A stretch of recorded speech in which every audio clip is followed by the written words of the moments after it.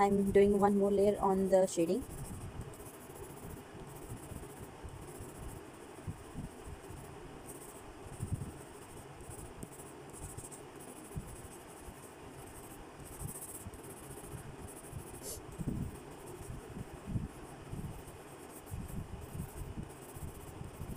Uh, I usually tend to rotate my sketchbook or paper a lot you can also set your sketchbook at any angle where you can freely uh, draw and move your hand